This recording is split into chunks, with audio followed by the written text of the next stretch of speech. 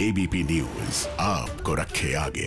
एक बड़ी खबर आ रही है, कश्मीर से आ रही है। पिछले हफ़्ते गांधरबल में आतंकवादियों ने सीआरपीएफ के बंकर को निशाना बनाकर हैंड ग्रेनेड फेंका था। इसमें घायल एक सैनिक आज शहीद हो गया।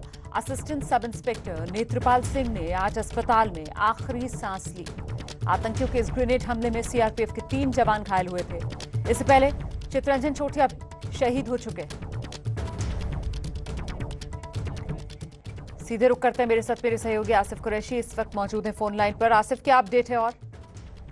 रोमाना देखिए ये हमला जो था 24 दिसंबर को गांधरबल के तौहीदाबाद चौक पे हुआ था। यहाँ पे सीआरपीएफ के बंकर को निशाना बनाकर ये ग्रेनेड फेंका गया था और ग्रेनेड बंकर के बाहर तैनात तीन जवानों को अपनी चपेट में लिया था, जिसमें तीन जवान गंभीर रूप से घायल हो गए थे। तीनों को तुरंत ही श्रीनगर स्थित Sher Kashmir institute of medical science में अस्पताल ले जाया गया था, जहाँ पे पहले तो एक जवान है उसकी मृत्यु हो गई थी और आज तकरीबन छह दिन के बाद दूसरे जवान की भी इसमें मृत्यु हो गई। जबकि तीसरे जवान के बारे में बताया जा रहा है कि उसकी हालत अभी स्थिर है।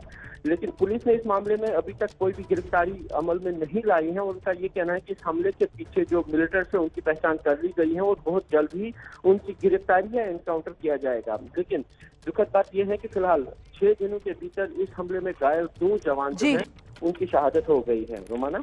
बहुत बहुत धन्यवाद आपका इस तमाम जानकारी के लिए।